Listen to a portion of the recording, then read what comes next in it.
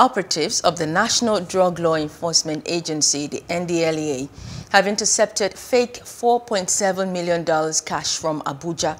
In a statement issued on Sunday, the NDLEA spokesman, Femi Babafemi, said operatives of the agency had in the early hours of Friday, that's February 18th, stopped a consignment sent from Lagos to Abuja at the Abaji area of the Federal Capital Territory. According to Babafemi, controlled delivery of the parceled counterfeit notes totaling $4.7 million led to the arrest of a principal suspect, a 52-year-old Abdulmumuni Meikesua.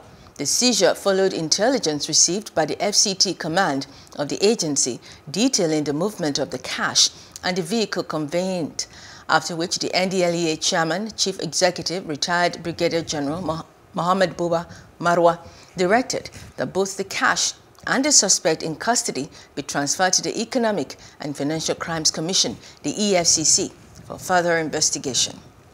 Hello. Hope you enjoyed the news. Please do subscribe to our YouTube channel and don't forget to hit the notification button so you get notified about fresh news updates.